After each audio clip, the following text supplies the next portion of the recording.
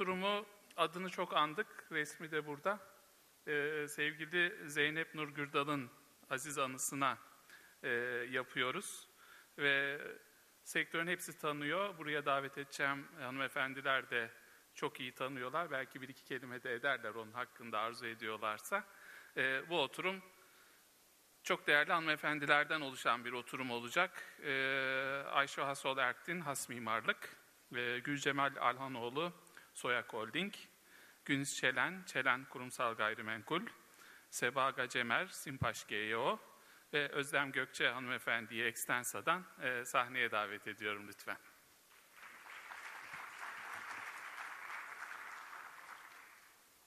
Bu e, panel bildiğiniz gibi e, hepimizin çok sevdiği e, Zeynep e, Nur Gürdal anısına e, düzenleniyor. E, gerçekten e, şimdi bu sözleri ediyor olmaktan dolayı hem e, gurur duyuyorum ama aynı zamanda da e, büyük bir üzüntü yaşıyorum. E, kendisini tanımayanlar için kısaca kim olduğunu bir e, anlatmak isterim. Ee, Zeynep Nur e, Gürdal'ı e, 18 Ocak 2015 tarihinde kaybettik. Ee, ULI ve PwC'nin e, yıllık toplantılarında görmeye çok alışıktık. Ee, ULI'ın e, Türkiye e, Yürütme Kurulu üyesiydi, hepimizin çalışma arkadaşıydı. Ee, Zeynep Hanım 1980 yılı Üsküdar Amerikan Kız Lisesi mezunu. 1985 yılında Kaliforniya Üniversitesi'nde bilgisayar bilimleri ve uygulamalı matematik bölümünü bitirmiş. Marmara Üniversitesi'nde bankacılık ve sigortacılık eğitimi almış. İş hayatına Koç Amerikan'da başladıktan sonra Arthur Anderson, Citibank, Citylease, Yapı Kredi, IFC, Soya Holding gibi sektörün önde gelen kurumlarında görev aldı. Son olarak da Çalık Gayrimenkul'de finans, mali kontrol ve planlama direktörü olarak görev yapıyordu. kuruluşundan beri ULI Türkiye Yürütme Kurulu üyesi olan arkadaşımız sakin, güler yüzlü, saygıdeğer duruşuyla hepimizin sevgisini kazanmıştı. Onu özlemle anıyoruz. Işıklar içinde, huzur içinde yatmasını diliyoruz ve bir yerlerden de bizi e, dinliyorsa e, sevgilerimizi gönderiyoruz. E,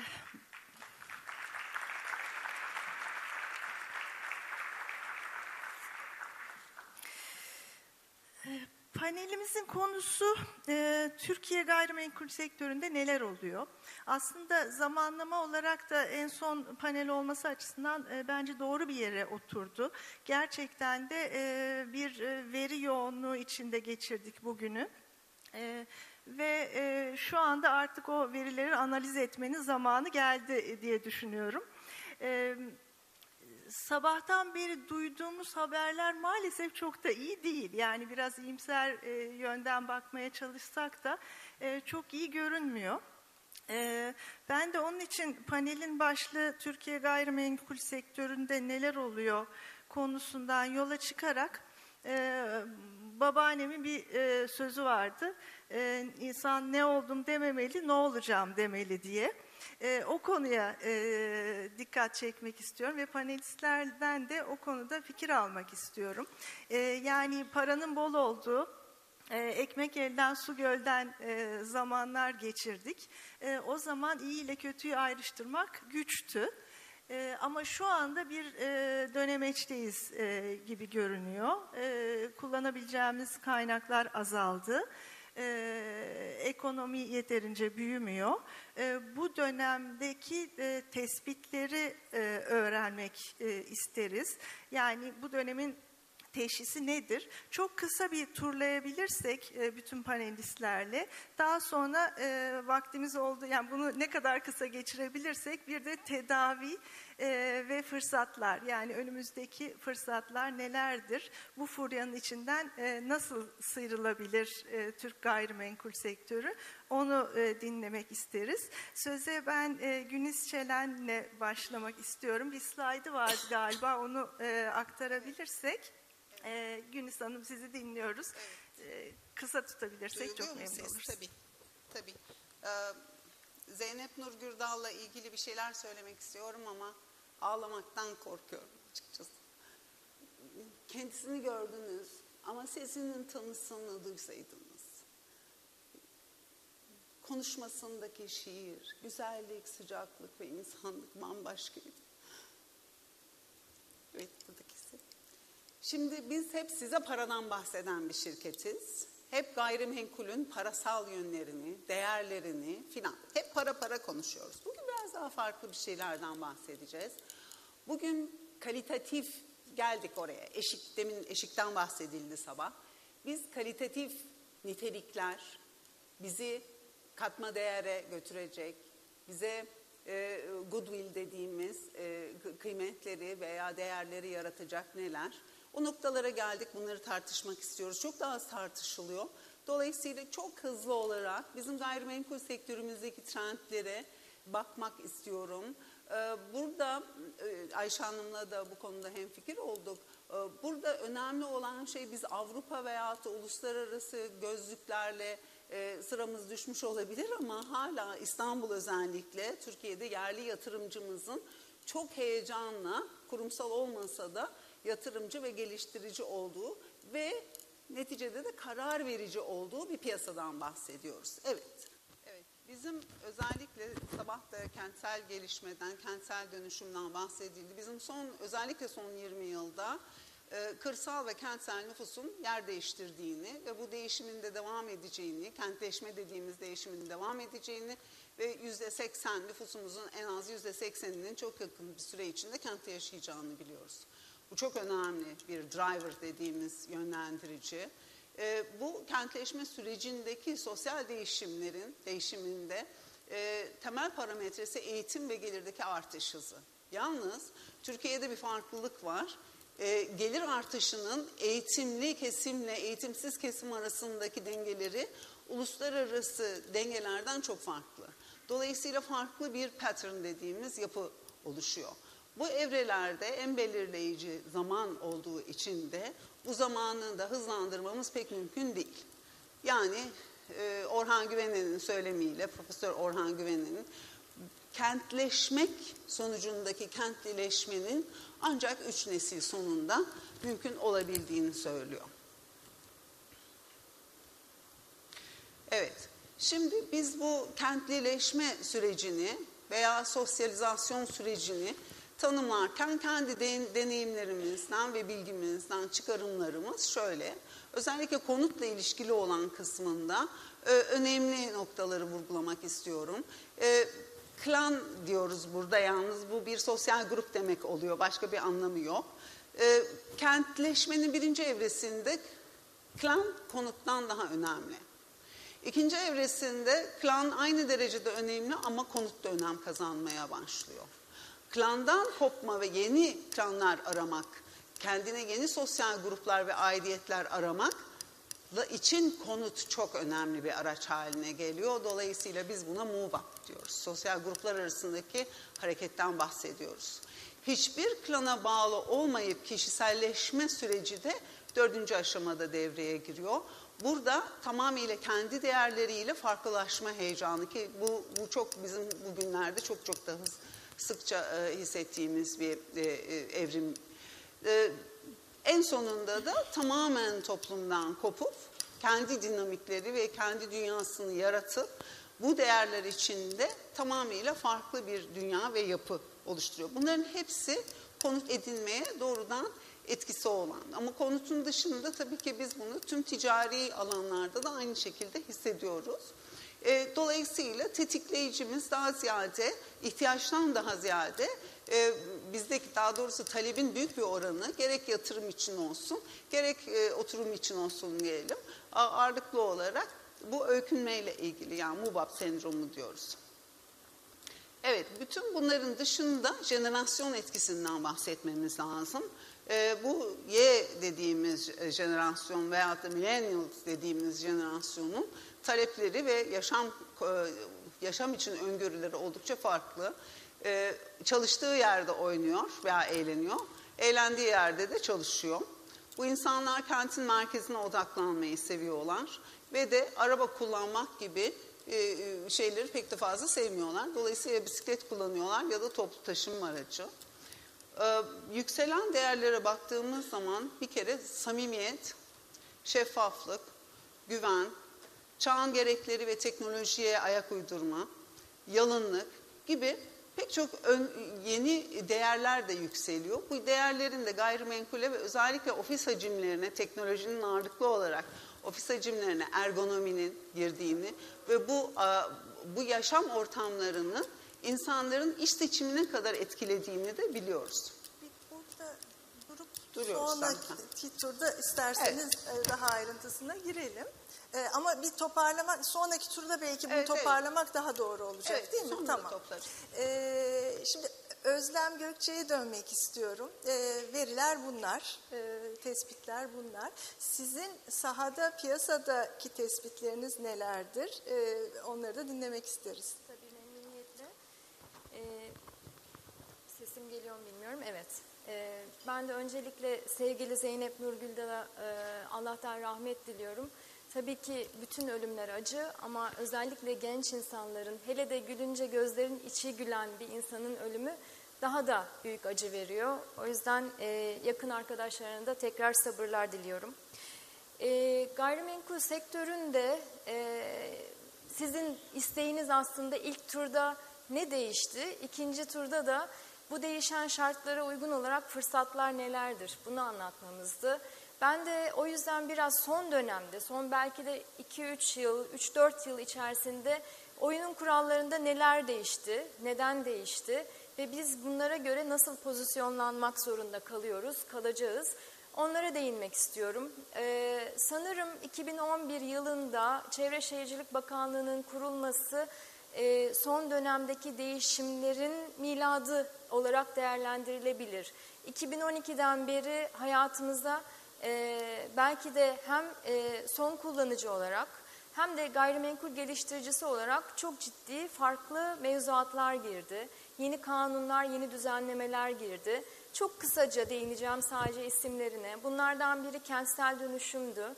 Ee, 7'den 77'ye bütün Türkiye'yi e, İstanbul'undan köyüne kadar etkileyecek çok önemli bir e, düzenleme ve çok büyük e, uzun soluklu, büyük bütçeli ve e, sürdürülebilir olması e, kesinlikle e, şart olan önemli bir düzenleme. Ee, onun yanı sıra 2B e, kanunu girdi. Şu anda etkilerini henüz daha net görmedik arsa e, açısından ama yavaş yavaş İstanbul başta olmak üzere 2B'nin de etkileri hayatımıza girecek. Kentsel dönüşümünki çok hızlı oldu. Girdi ama e, Gülcemal Hanım daha detayını anlatacak o yüzden hiç değinmiyorum. Sadece şu anda makro ölçekte değil de daha e, mikro ölçekte başlayıp birbirinden bağımsız ve koordinasyonsuz bir şekilde ilerleyen bir süreci yaşıyor, yaşıyor kentsel dönüşüm.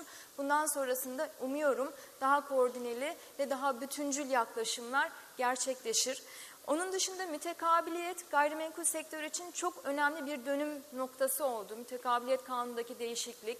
E, 2014 sonuçları 4,5 milyar dolarlık bir e, doğrudan yabancı yatırım gayrimenkul sektörüne tüm zamanların en yüksek değeriydi.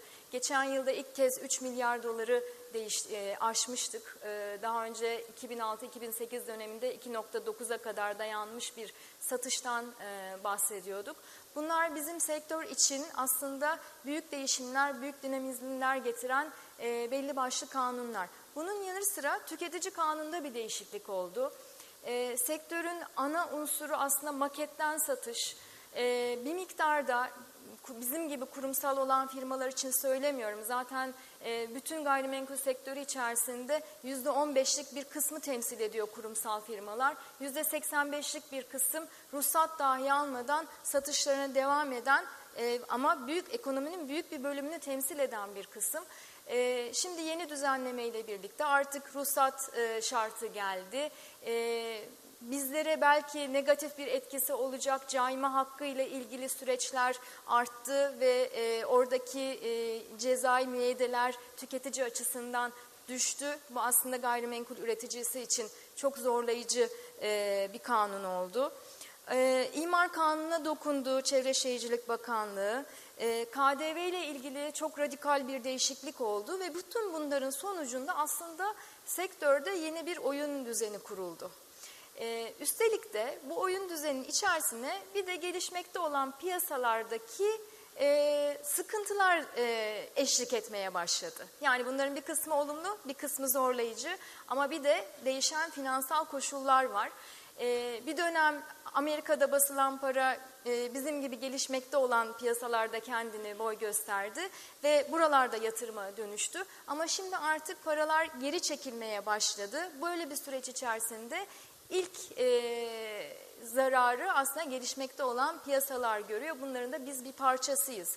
Bu dünyanın e, artık hani e, kopmaz bir parçası olduğumuz için biz de bundan kendi payımıza düşeni alıyoruz. E, olumlu bir gelişme son dönemde petrol fiyatlarının e, düşmesi. Bunun ana e, özellikle kendi bölgemizde e, ana fayda gören ülkelerden biri de biz olduk. Hele de işte rakibimiz bu raporda da biraz ortaya çıktı. Moskova iyice en altlara girdi. Biz halen en azından işte belli bir e, noktayı, seviyeyi İstanbul olarak korumuş durumdayız. Ee, biraz bütün bunların sonucunda aslında yeni bir düzen kuruluyor gibi. Yani e, para konuşmayalım diyoruz ama bugün sektörümüzün iki önemli sıkıntısı var. Bir tanesi arsa temini, bir tanesi de finansman temini.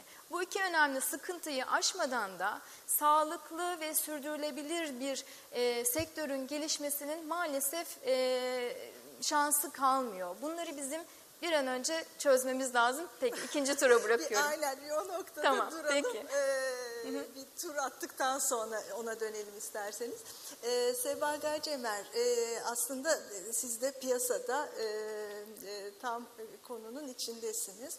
E, aynı Özlem Hanım'a sorduğum soruyu e, size de sormak isterim. Gerçekten bu verileri siz e, sahada da takip edebiliyor musunuz? Sizin tespitleriniz nelerdir?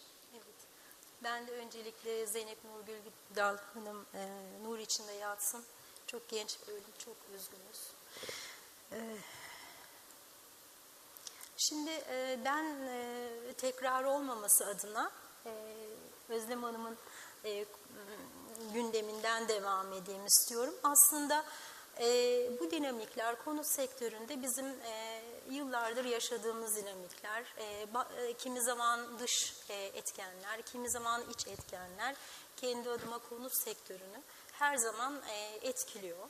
E, biz aslında buna çok alışkınız. E, bir sürpriz durum değil ama Özlem Hanım'ın güzel e, bir şekilde özetlediği, özellikle kendi iç dinamiklerimizde e, yönetmelik değişiklikleri, ötle bu Çevre ve Şehircilik Bakanlığı'nın bir takım yetkileri merkezi bir şekilde e, başkente toplaması, bunun e, uygulamalardaki e, bir takım e, sıkıntıları, e, sektörün şu anda yaşadığı e, önemli bir e, konu.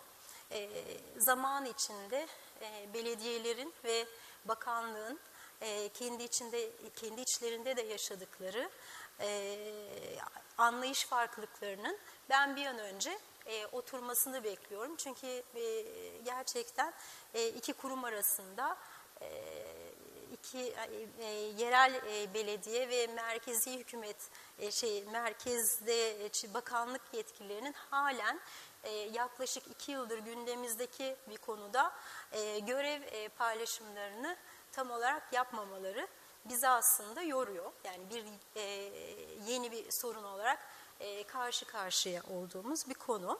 Ama o biraz daha teknik bir konu. Fakat e, proje gelişim hızını, e, projelerin ortaya çıkmasını bir nebze etkiliyor. Bu bizim sektörümüzün şu anki önemli bir gündemi.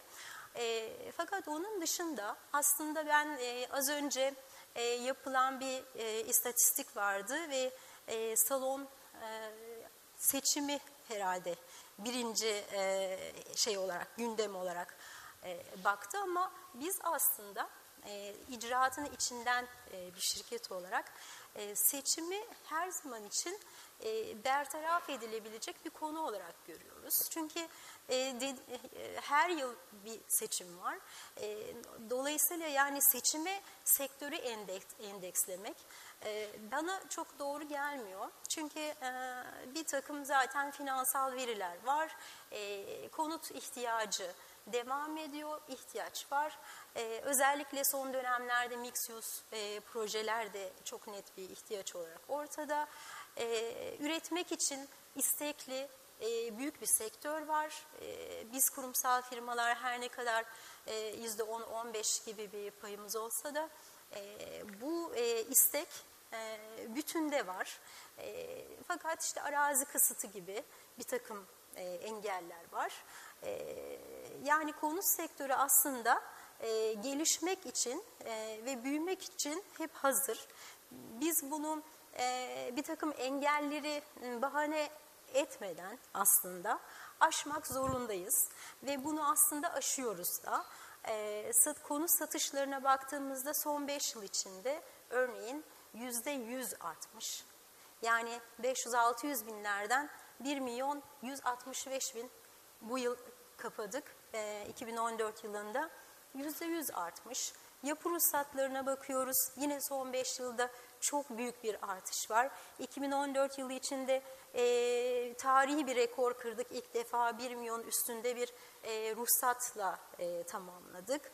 E, onun dışında işte klasik e, olacak o belki ama Genel e, anlamda ama araya girebilirsem Tabii. e, aslında siz çok da bir geriye düşüş olmayacağı gör. Yani aramızda e, iyimserler arasındasınız Ben siz iyimser, gibi, evet. değil mi? Yani bu bu şekilde artarak devam eder gibi Öyle, öyle. Yani çünkü e, ihtiyaç devam ediyor. E, yatırım ihtiyacını bir kenara koyuyorum. Çünkü o da bir ihtiyaç. Güvenli liman e, ihtiyacı bence e, bizim toplumumuzda. Hani o yastık altı grubun özellikle birinci derecede tercih ettiği gayrimenkul olduğunu hepimiz biliyoruz. E, ben e, o anlamda pozitif bakıyorum. Çünkü 600 bin yeni evlenmenin olduğu, 125 bin her yıl boşanmanın olduğu, e, yatırım ihtiyacı noktasında Türk halkının gayrimenkul aşkını hepimiz biliyoruz. Herkes e, ilk hayalini söylediğinde e, bir ev diyor. E, bir iş yeri diyen e, pek duymuyorum. Onun için e, Avrupa'da da e, bu istatistiklerden yine anlaşılıyor ki konut yine popüler olmaya devam ediyor. E, bu anlamda ederiz. ben e, yeni e, gelişmeleri ve e, özellikle 2014 yılı içindeki ivmemizi olumlu bir sinyal olarak görüyorum. Çok teşekkürler. Bu iyi, iyi bir his, bir iyimserlik. Ee, Gülcemal Hanım, sizin e, bir kere iyimser misiniz, kötümser misiniz? Şu geldiğimiz noktada e, hangi noktadayız? E, bundan sonrasını e, birazdan tartışmak şartıyla e, sizin düşüncelerinizi alalım. Tabii. Ee, öncelikle sesim geliyor mu bilmiyorum. Öncelikle e, kadın haklarının, kadının toplumdaki yerinin tartışıldığı şu günlerde bana bana göre böyle bir panel çok anlamlı. Ee, böyle bir bu panelin Zeynep Nur gibi e, bir dünya vatandaşı, modern Türk kadınının adına yapılıyor olması daha da anlamlı. Ee, Zeynep Hanım'la biz Soyak'ta 3 yıl boyunca birlikte çalışma fırsatı bulduk. Kendisi e, hem çok mücadeleci hem de e, son derece pozitif bir insandı. E, Kendisini saygıyla ve rahmetle anıyorum buradan. Şimdi Türkiye'de gayrimenkul sektörünün geleceği neler olacak, bizi neler bekliyor konusunda aslında e, sabahtan bu yana olan her konuşmacı Türkiye'deki kentsel dönüşüm hamlesinden, bu fırsattan bir miktar bahsetti. Fakat e, nedense bu büyüklükteki bir kentsel dönüşüm e, hamlesi rapora hiç etki etmemiş. E, ya biz fırsatı iyi anlatamadık ya da bu bir fırsat olarak henüz gözükmüyor. Zihinlerde bir olgu olarak kaldı. E, aslında e, bunun finansmanı ve e, yatırım büyüklüğünün rakamlarını Haluk Bey vermişti. Ama kısaca hatırlatmak gerekirse 18 milyon konutumuz var dedik. 14 milyonu e, riskli ve bunun 6 mi- e, 6.8 milyonu da bakanlığın açıklamasına göre 20 yıl içinde yenilenecek. Çok kaba bir hesapla 465 milyar dolara ihtiyacımız var bu yenilemeyi yapmak için. Şimdi 20 yılda 6.8 e, milyon konutu yenilemek demek, senede 340 bin konut yapmak demek. Bunu da şöyle realize edebiliriz. E, Her sene yaklaşık 500-600 bin yeni konut ruhsatı alınan bir Türkiye'de yaşıyoruz. Bu da demek oluyor ki önümüzdeki yıllarda yaparsak bunun yarısını kentsel dönüşümden almaya devam edeceğiz. Eğer yeni bir pazar açmıyorsak, buna ilave bir ha- hale getirmiyorsak. Şimdi bugüne kadar e, konu tabii sadece kentsel dönüşüm konusu sadece finansmanı nasıl bulacağız ve finansal enstrümanları nasıl çalıştıracağız değil. Aynı zamanda bu büyüklükte bir konut hamlesi e, mekansal, sosyal ve e, plan planlama sorunlarını da beraberinde getiriyor. E, bugüne kadar sermaye eksikliğiyle kat karşılığı modelini kullanarak biz kentsel dönüşüm yaptık. Hala da İstanbul'un birçok yerinde işte Bağdat Caddesi'nde ve farklı yerlerde olan şekli bu. Daha farklı metotlar da var. İşte hastat paylaşımı gibi, kamu özel sektör yatırım ortaklığı gibi bugün bakanlığın, belediyenin özel sektörle yaptığı modeller de var. Fakat bu model önem e, arayışımız şu oluyor. E, bir model bulalım ve bu model bizim altın anahtarımız olsun. Her kentsel dönüşüm projesinde bu e, modeli uygulayalım. E, maalesef böyle bir anahtar yok. E, arsaya, uygun arsaya, uygun e, yatırımcıya, uygun arsa sahibine göre bir model bulmak gerekiyor. Şimdi e, bu modelde geliştirirken bir takım fırsatlar var ama bu fırsatların realize, realize edilebilmesi için bazı konuların da çözülmesi lazım. Birincisi e, biz işletme kökenli olanlar, e, ben şehir plancısıyım aslında ama e, işletme kökenli olanların bildiği bir model var. Kazan kazan modeli. Şimdi bu kentsel dönüşüm hamle- hamlesinde kazan kazan modeli çalışmıyor bana göre. Herkesin kaybettiği bir model olmalı. E, kamu da yatırım yapacak, özel sektör de biraz vazgeçecek, arsa sahibi de beklentilerini düşürecek. E, ve değer artışı hedefiyle bir kentsel dönüşüm yapmaya çalışırsak bu beraberinde bize mekansal ve sosyal bir takım sorunları da getirecek. Dolayısıyla aslında hedefimiz değer artışı değil, hayat kalitesinin artışı ve afet yasanın da öngördüğü şeklinde afetten kendimizi korumak, güvenceye almak şeklinde olmalı.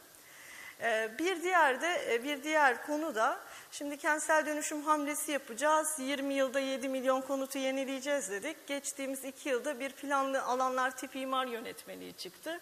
Hemen arkasından mekansal planlama yönetmeliği çıktı ki bu planlama yönetmeliği Türkiye'de planlar nasıl yapılacak onu tarifledi.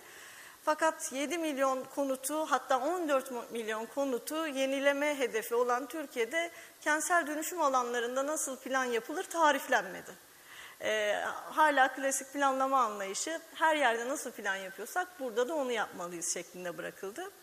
Dolayısıyla işte yeni donatı açık alanlar nasıl olacak? Zaten yoğun olan kent merkezi nasıl geliştirilecek? Ee, özel alan, kamusal alan, yarı kamusal alan tanımları gerekiyor artık. Ee, bunlar nasıl tanımlanacak? Ee, sokakların açık yeşil alan sistemi içerisinde nasıl çözüleceği? e, kent merkezlerinde oluşacak olan yoğunluğun, o yoğunluk mimarisi anlayışının mevzuata yansımasını göremedik. Hala siz de Ee, O noktada aslında e, bir ikinci, İkinci tur turda, e, tabii. yapmayı e, tercih ederim. Çünkü e, aslında bundan sonra yapılacaklar birazcık e, şu anda gündemde. Yani e, e, geçtiğimiz dönemde son 10 yılda gerçekten bu bahsettiğimiz e, eksiklikleri yani konut alanındaki eksiklikleri gidermek için böyle bir seferberlik, herkesin katılacağı, herkesin elinin, e, elini taşın altına soktuğu kamu özel sektör işbirliğiyle bir konu- konut hamlesi yapıldı kentlerimizde. Ama bundan memnun muyuz? Çok da memnun değil gibi görünüyoruz. Ee, geçenlerde e, bir e, toplantıda e, İMSAT e, Başkanı dedi ki her yerde rekabet kalite getirir. Bizim memlekette rekabet kalitesizlik getirirdi, getirdi dedi. Yani aslında çok güzel bir tespit. Ee, biz e, müthiş bir rekabet ortamı içinde hiçbir şeyin eksik olmadığı yani her türlü olanağın e, herkesin ayaklarının altına serildiği bir ortamda sonuçtan pek de memnun değiliz. Yani birkaç iyi örnek dışında ki e, gerçekten hani bu panelde oturan e, kişilerin yaptıkları projeler gerçekten iyi örnekler arasında. Ama genele baktığınız zaman e, çok da memnun değiliz biz kentlerimizin geldiği bu noktadan. Yani bu hamle işte seferberlik, arsa üreteceğiz, e, kaynak üreteceğiz. Peki ürettik yaptıklarımızdan memnun muyuz? pek de memnun değiliz. Ee, şimdi bu aşamada e, bu e, e, kısıtlar da arttı. Yani geç, 10 yıl öncesinin e, veya 5 yıl öncesinin e, çok iyi ortamları artık e, elimizde değil. E, şimdi bu yeni ortamda e, mutlaka iyilerle kötüler, işte o rekabetin e, yarattığı kalite ortaya çıkacaktır. Bu konudaki görüşleriniz nelerdir? Ben tekrar Günis Hanım'la devam etmek istiyorum. Günis Hanım'ın bir son slaydı vardı, onu yansıtabilirsek. Sabah da bahsedildi. Bizde de çok ciddi olarak hissediliyor. Büyük bir seçicilik var. Ee, seçiciliğin de bir sürü sebebi var. Onların hepsine girmek doğru değil. Ama planlama, tasarım ve ondan sonra da işin yönetilme aşamasındaki sistemlerin oturtulmuş olması, kurumun kurumsallık seviyesi hepsi çok önemli. Dolayısıyla niçin bazı projeler çok iyi satıyor, niçin bazı projeler çok zor satıyor. Tabii ki bazılarında kol kırılıp yen içinde kalıyor. Biz çok da göremiyoruz bunları ama bunların arkasındaki sebeplerin daha ziyade yaratılan katma değer olduğunu öğreniyoruz. Bu da tabii ki aslında sadece bina bazında değil, site bazında da değil, kentsel doku bazında iyileştirilmeye ve önümüzü biraz açacak bir tavıra ihtiyaç olduğunu biliyoruz. Ee, şimdi bizim burada mimara özellikle plancı ve mimara hepsine aslında tasarıma giren herkese bu şekilde pay vermek lazım. Ee, çok önemli bir rol biçiyoruz. Peki bu önemli rolü biz biçerken nasıl oluyor? Bu devamlı gidiyor. Bir açarsanız. Ee, Biz bu önemli rolü biçerken neler bekliyoruz bu insanlardan? Türkiye'de çok mimar var, sayısı çok yüksek. Ben tam olarak da öğrenemedim. Yurt dışındaydım, sabah geldim. Bunları da zaten seyahatte hazırladım. Ama bildiğimiz kadarıyla mimarlarımıza bugüne kadar çok önemli bir görev verilmemiş olduğunu görüyoruz. Peki bundan sonra biz böyle bir görev verdiğimiz takdirde bu görevi üstlenmek konusunda biz onlara hem güvenmek hem desteğini vermek hem de ondan sonra da onların e, donanımlarını tamamlamak adına bir kere e, gönüllü müyüz? Bu pazarda biraz önce bahsettiğimiz yeni hassasiyetler dolayısıyla mimarın önemli olarak öne çıktığını biliyoruz.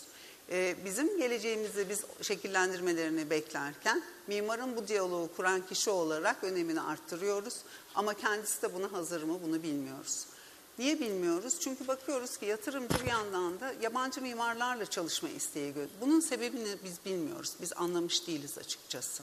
Ama bir şekilde bir yerden başlamak lazım. Ve bütün bunların içinde de kadın mimarlarımızın çok kenara itilmiş olduğunu ve neredeyse yarısına yakın aslında diploma olarak bakarsak kadınlar kadın mimarlarımız ama özellikle konut konusunda kadınların karar verme yani tüketici veya yatırımcı olarak kadınların karar verme yetisinin çok yüksek olmasına karşın bu projeleri hazırlayanların kadınların nasıl düşündüğünü bilmeden yaptığını da görüyoruz. Bu da aslında çok acıklı bir konu. Mimardan ne bekliyoruz biz? Sosyal değişimi, tavırları, değerler sistemini iyi anlamasını, bu köprüleri kurmasını ve ondan sonra da kendi birikimini ve e, yaratı kabiliyetini kullanarak geliştirici veya yatırımcıya da kazanç sağlayarak özgün yapıtlarla kente katkıda bulunmasını bekliyoruz. Bu büyük bir sorumluluk aslında ve büyük de ekipler istiyor. Türkiye'de bu ekipleri kurabilmiş firma sayısı çok fazla değil. Ee, evrensel ölçülerde diyoruz. Evrensel ölçülerin başında tabii ki doğa, çevre ve sürdürülebilirlik geliyor. Bunları biz pazar pazarın çok hassas olduğunu biliyoruz. Pazar bunları e, e, çok hızlı bir şekilde seçiyor ve tercihlerini ona göre yapıyor. Dolayısıyla biz geliştirici olarak, karar verici olarak veya mimarların bu konuda çok bilinçli olması lazım. Evet. mimar reklamı yapıyorsunuz diye kesmek istemedim ama. Yok tamam. Yok hani son birkaç Evet, e, mimarların zarar da verdiğini biliyoruz. Yani projelere yanlış kararlarla. Dolayısıyla bu bir takım işi. E, ama gene de mimara ve bu tasarım sürecine ayrılan kaynağın yerine gittiğini biz biliyoruz. Dolayısıyla pazarı, ekonomiyi, değerleri hep bir araya yoğurup iyi harmanlayabilirsek biz mutluluk vaat edebilecek durumda oluruz. Çünkü gayrimenkulün asıl sattığı ürün mutluluk. Mutluluğu dolayısıyla hepimiz iyi tanımlayabilmemiz lazım. Bütün bu köprüleri ve ilişkileri aynı iskelet ve sistem içinde kurup ürünü ortaya çıkarıyor olmamız lazım ki kazan kazan bir sonuç elde edelim. Güniz Hanım çok teşekkürler. Mimarlar size minnettar. yani mi- mimarlara iyi, davranın lütfen. Bunun özeti. Yani mimarın adı yok Türkiye'de ne yazık evet, ki öyle evet. bir Ve aslında değer kazandıran da e, yani Bunlar. her yönden e, maddi açıdan da manevi açıdan da projeye değer kazandıran aslında mimar ve mimarın adımları. E, tabii e, gene tırnak içinde iyi mimar olması kaydıyla e, diyeceğim. E, şimdi e, piyasada özellikle ULI e, bültenlerinde, yayınlarında, konferanslarında e, bir takım eğilimleri görüyoruz. E, işte bunun içinde sabah alternatif yatırımlar konu edildi.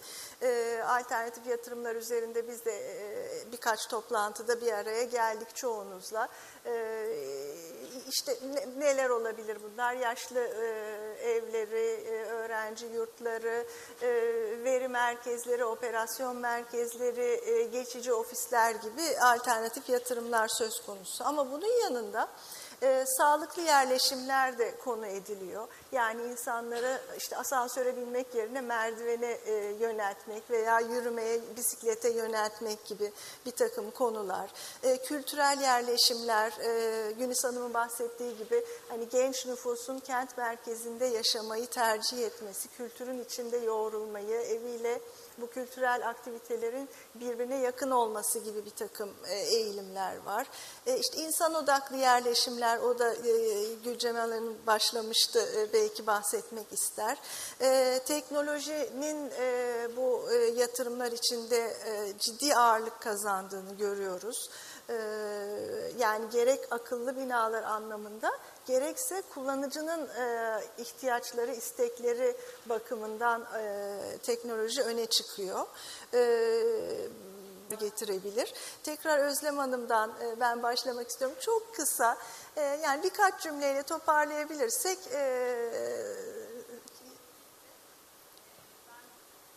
Mimar kökenli bir gayrimenkul geliştiricisi olarak canı gönülden katılıyorum Günis Hanım'ın söylediklerine. Gerçekten e, o dokunuş çok önemli. Yani mimarın e, bütün gayrimenkule dokunuşu, yönlendirişi çok önemli. E, ve belki de gayrimenkul geliştiricisi e, pozisyonunda daha fazla mimarın yer alması gerekiyor. Yani bu da ayrı bir şey çünkü bizim sektörde e, çok da görmüyorum. Ne okul arkadaşlarımı görüyorum e, hani yakın sektörlerde de bulunmuyorlar. Hep tasarım yönünde kaldı mimar arkadaşlarımız. Biraz daha belki bu sektörle daha içli dışlı e, çalışmak, entegrasyonu artırmak şart. E, ben biraz önce kaldığım noktadan e, devam etmek istiyorum. Bir de Ersun Bey ilk konu rapor sunumunda hep rapora baktık baktık dedik ki biz acaba farklı dünyalarda mıyız? Yani e, Avrupa'daki gelişen trendlerden bahsediyoruz. Avrupa'daki e, işte iyimserlik, finansmana kolay ulaşma vesaire gibi şeylerden biz özellikle de son belki 2-3 senedir hep farklı bir noktada duruyoruz.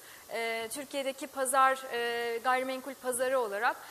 Ben e, biraz da şimdi yabancı e, menşeili bir gayrimenkul geliştirme firmasının e, Türkiye direktörü olarak ben de aynı fikre katılıyorum. Biraz halen farklı dünyaların insanıyız. Yani e, gidip kendi şirketimin de şu anda aldığı kararlar bu sene içerisinde hem Lüksemburg'da hem Belçika'da toplamda 2 milyar euroya yakın bir yatırım kararı alındı. Bunların startları verildi. Başka bir e, boyutta konuşulmaya başlandı. Tam da bizim burada Türkiye'de işte aman finansmana ulaşmak çok zor artık hayat daha zor, zorlaşacak dediğimiz zamanlarda gerçekten orada e, bütün krize rağmen yani Avrupa'nın yavaşlamasına rağmen e, finansman kaynakları çok rahat ulaşılabilir. Özellikle doğru proje ve doğru şirketlerin çok rahat e, erişilebilir noktasında duruyor. O yüzden o yüzden ben hala eğer İstanbul başta olmak üzere Türkiye gayrimenkul pazarını biz artık global piyasalara entegre edeceksek aynı oyunun oyuncuları olmak zorundayız ve aynı kuralları bir şekilde buraya da taşımak zorundayız diye düşünüyorum.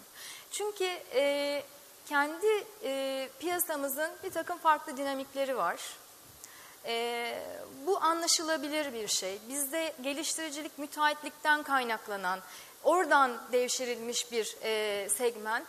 E, Avrupa'da farklı. Zaten işte e, GEO geliştiricilik yapamıyor. E, sadece kira getirisiyle yaşayan e, bir yapı vesaire gibi şeyler var. Bunların bir takım modifikasyonlarla e, Türkiye'ye uyarlanmış olmasında hiçbir behis görmüyorum. Ama e, yine de eğer biz bir fırsatlar ülkesiysek gayrimenkulde ve global yatırımcının da e, ilgisini çekmeyi düşünüyorsak artık şeffaflık ve eşitlik konusunda bazı adımların atılması lazım. Bunun birçok sektör için atılması lazım ama gayrimenkul sektörü için özellikle atılması lazım. E, bir, süre önce medyada işte rant vergisi vesaire gibi e, başlıklar altında bir, yasal düzenleme taslağından bahsedildi. Bunun tabii ki içeriğinin doğru yapılıp sektöre zarar vermeyecek boyutta e, bir formata getirilmesi şart. E, buna inancım tam. Ama içinde aynı zamanda herhangi bir ranttan kamunun e, faydalanacağını öngören bir yasal düzenlemenin ve bunun e, büyük bir şeffaflık içerisinde e, gerçekleştirilmesini öngören bir düzenlemenin bu sektöre ciddi anlamda pozitif katkı sağlayacağını düşünüyorum. Ve e, biz eğer bugün İstanbul, İstanbul gayrimenkul pazarının başkenti, bunu e, Türkiye İstanbul'dan ibaret değil desek de e, öyle veya böyle e, dörtte birinden fazlasını temsil eden e, bir pozisyonda. O yüzden e, buradaki yığıtları özellikle e, gelişmiş ülkelerdekiyle kıyasladığımız vakit riskle e, aldığımız riskle de çok örtüşen bir getiri e, beklentisi olmuyor maalesef. Gelişmiş ülkelerdeki benzer e, getiri potansiyellerinin bir benzerini sunuyoruz. O zaman biz de aynı şartlarda sunmamız lazım ki biz de artık bu global pazarın bir parçası olalım. İstanbul bunu hak ediyor. İstanbul e, turizmde dünyada altıncı destinasyon, Türkiye altıncı destinasyon. E, Bu noktada e, Seva Hanım'a da dönmek isterim. Yani gerçekten biz e, globalleşebilir miyiz? Yani bizim e, gayrimenkul sektörümüz yerellikten globalliğe açılabilir mi? Siz önümüzdeki dönemde bunu görebiliyor musunuz? Aslında hem glo- globalist hem değiliz. Yani hem doğuyuz hem batıyız. Ben konuya böyle bakıyorum. Ee, Türkiye pazarını e, daha dışarıdan yatırımcı gözüyle baktığınızda e, değerlendirmek e, daha bir yani kira değerleri gibi bu performanslar gibi yani bir Dubai'deki gibi işte 10 yıl sonra sana bu yatırımın geri dönecek gibi e, bir takım vaatlerle e, Türkiye pazarı e, kıyaslanıyor ama ben bunu çok doğru bulmuyorum. Çünkü e, e, Dubai'deki sosyoekonomik e, ortamla yani e, şehrin veya işte Birleşik Arap Emirlikleri ülke çapındaki nüfus dinamikleriyle yani oradaki işte bir konuyu çekip aldığınız anda o şehir çöker. Ama İstanbul'un böyle bir durumu yok. Yani e, son derece köklü bir geçmişi olan İstanbul için de demiyorum. Bu bir Bursa için, bir Ankara için. E, mesela geçenlerde e, okudum Amerika'da e, yine bir araştırma. E, gelişme potansiyeli en, yüks en yüksek 10 şehir e, içine 4 e, şehrimiz girdi. İstanbul, İzmir, Bursa ve Ankara. Onun dışında e, Çin'in e, şehirleri var, e, Dubai var. Yani e, dışarıdaki bazı hani e, bir önceki panelde e, Faruk Bey'in söylediği gibi dışarıdaki bakış, bakış açısı bizim pazarımıza uymuyor ve biz bunu e, yabancıya özellikle Körfez veya işte Türkiye Cumhuriyetlerinden gelenlere bu şekilde anlatmaya çalışıyoruz. Siz bizi 15 yıllık, 20 yıllık kira değerlerimizle hatta 25 yıllık kira değerlerimizle değerlendiriyorsunuz ve eleştiriyorsunuz ama bizde bir konut yılda %30 değer kazanabiliyor. Ben e, geliştirici olarak aynı bölgede yaptığım hiçbir projeyi bir önceki projeden daha ucuza satmadım. Ve mecburen satmadım. Yani e, örnek vermek gerekirse Sancaktepe'de e, bir projemi yaptım 2000-2500 aralığında. Diğer projemi hemen arkasından 2500-3000 aralığında. Diğer projemi 3000-3500 aralığında ve diğer projemi 3500-4000 aralığında. Şimdi bunu ben keyfimden yapmadım. Mecburen. Çünkü maliyetlerimiz artıyor. E, işçiliklerimiz artıyor. Girdilerimiz, e, do, dolara endeksli olan bütün üretim maliyetleri artıyor. Ama satışta olabiliyor diyorsunuz aynı oranda. E, Satışlar da oluyor çünkü e, tabii ki doğru proje geliştirmek çok önemli, mimara değer vermek ama mimarın da e, müşteri beklentilerini iyi analiz etmesi bunlar da çok önemli. Ben mesela mimarlar konusunda daha e, farklı düşünüyorum. Eyvah E, o çok- zaman ben moderatörlük hakkımı kullanıyorum. Yani şöyle tabii e, işini çok iyi yapan mimarları tenzih ediyorum ama bizde şöyle bir şey oluştu. Bunu çok yaşıyoruz mesela geliştirici olarak. Bir mimara iş veriyoruz. Eskiden bir mekanikçi, bir statikçi işte e, te- te- şeyi m, diğer disiplinleri tamamlardık. Şimdi e, iş ilerlemiyor. Niye? Trafik danışmanı lazım. Yine ilerlemiyor. Neden? Mutfakçıdan proje bekliyorum. E, niye ilerlemiyor? Cephe danışmanı lazım. Yani bunları çok iyi anlıyorum ama mesela ben şu- şunu bekliyorum. Bir mimar orada o işi alırken ihtiyacı olan tüm unsurları kendisi koordine edip ihtiyacını ona göre belirleyip ondan sonra bunu kendi yorumuyla, kendi analiziyle yapıp ondan sonra bize ürünü sunmalı. Tabii bunun için de e, bütün işverenlerin de bunun e, maliyetinin bilincinde tabii. olması Tabii, lazım. Yani tabii. genelde hep e, hani minimum miktarla başlanıp ona ilavelerle gidilmek Evet, durumunda evet. kalıyor. Yani yaşama ama değer katma anlamında, haklısınız. mekan çözümlemeleri anlamında mimarlarda da belki bu bizim eserimiz olabilir. Yani kendilerini bu anlamda biraz daha o güçlerini kullanabileceklerini düşünüyorum onu ben. sağlamak Ee, lazım. Düşünürlerse daha iyi olur. Peki evet. çok teşekkürler. E, Gülcemal Hanım e, şey yapabiliyor muyuz? Yani biz bu e, kentsel dönüşümü insan odaklı, yaşam biçimi odaklı halde geliştirebilecek miyiz? Bu geçmiş dönemden ne tür dersler aldık? Onları önümüzdeki dönemde olumlu yöne çevirebilecek miyiz acaba? Umuyorum. Umuyorum böyle bir fırsat verken bunu değerlendiririz. Ee, şimdi dedik ki kentsel dönüşümün e, finansmanı maliyeti bize 465 milyar dolar. Ee, aslında e, Ersun Bey sunumunda dedi ki e, rapor anlatırken Avrupa'da gayrimenkul geliştirmede sürdürülebilirlik ve yeşil e, sizin için ne kadar önemli soru. Yüzde 85'i önemli evet böyle yapıyorum diyor. Sonra ikinci soru da şu hemen arkasından. Ee, ne kadarından e, daha yüksek kira alabiliyor musunuz gelir olarak? Yüzde 18'i evet diyor. Yüzde 47'si henüz almıyor ama almayı umuyor. Yüzde 37'si de hayır diyor. Onun bir beklentisi de yok. Daha daha iyi bir kira alma beklentisi de yok. Şimdi Avrupa'da durum bu. Türkiye'de daha tabii ki e, vahim. E, gerçi e, bakanlığın ve kamunun attığı bir takım e, adımlar var. 2011 yılında bir enerji strateji belgesi yayınlandı. Hemen arkasından enerji verimliliği kanunu yayınlandı. Sonra gayrimenkul sektörünü doğrudan ilgilendiren binalarda enerji performansı yönetmeliği yayınlandı.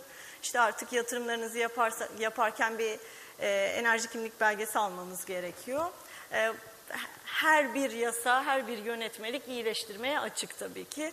E, dört başı mamur yasalar ve yönetmelikler çıkmadı. Şimdi 465 milyar dolardan bahsetmiştik tüm kentsel dönüşüm için. Bir çalışma var yaptığımız. E, Türkiye'deki bu 6.7 milyon konutun hepsini biz enerji verimli olarak yenilersek ve öyle yaparsak eğer... e, Türkiye 25 milyar dolar tasarruf elde edebilir. Enerji tasarrufu elde edebilir. E, bu da demek oluyor ki e, 100 milyon dolarlık bir e, baraj yatırımından e, 144 tane yapmayabiliriz. Şimdi e, bu 465 milyar doların 25 milyar doları burada. Enerji verimliliğinde ve sürdürülebilirlikte. Tabii ki biz 6.8 e, milyon konutu yenileyeceğiz derken e, hepsini yıkıp yapmak da sürdürülebilir bir yöntem değil. Burada tadilat, restorasyon, tekrar kullanım e, olanaklarına bakmak, binaları e, kullanılabilecek olanları iyileştirmek, onları enerji verimli hale gelmek, deprem güvenli hale getirme fırsatlarını da araştırıyor olmamız lazım. Bence Türkiye'nin e, gayrimenkul sektörünün önündeki yeni pencerelerden birisi bu. E, hem enerji verimliliği hem sürdürülebilirlik hem de e, yeniden kullanım olmalı diye Ee, düşünüyorum. Belki ona ilave e, olarak da e, hani e, bunun e, insana yönelik olması. Yani biz birazcık bunları tabii rakamsal hale getiriyoruz ister istemez. E, yatırımcıların e, aklında kalsın, özellikle dikkat çeksin bu işin ekonomik boyutu diye. Ama aynı zamanda işte kentlerimizi e, ara, arabaların kenti olmaktan çıkarıp bu geliştirmeyi yaparken de e, yaya odaklı kentlere dönüşmek, e, insanların yaşamlarını kaliteli hale getirebilecek planlama ilkeleriyle yola çıkmak gerekiyor. E, bunlar işin tabii ki e, rakamlara vurulamayacak kısımları ama bu işte yeşil gelişimin içinde aslında veya sürdürülebilirlik ilkelerinin içinde insan odaklı, sağlık odaklı kentsel dönüşüm de olacaktır mutlaka. E, ben e, kapatmadan evvel bir kısa özet e, geçmek istiyorum. E, bizleri dinlediniz, büyük sabır gösterdiniz. E, çok teşekkür e, ederiz. Burada kıssadan hisse kalanları özellikle bir belirtmekte üzerine basmakta yarar görüyorum. E, Günis Çelen e, değer yaratmak için e, mimarın e, önemine değindi. Mimarın e, mutluluğa dönük, dönük e, gayrimenkulün mutluluğa dönük e, amacına hizmet ettiğini e, belirtti. Ee, Özlem Hanım, e, Özlem Gökçe e, en çok e, dünya firması olma e, vurgusu benim dikkatimi çekti. Artık e, biz e, yerlilikten kurtulup biraz gözümüzü dünyaya e, açmamız gerekiyor. Evet bir miktar başladı bu kabul ediyorum ama artık e, kendimize dönük, e, iç piyasamıza dönük değil e, dışa dönük de e, atılımlara başlamamız e, gerekiyor.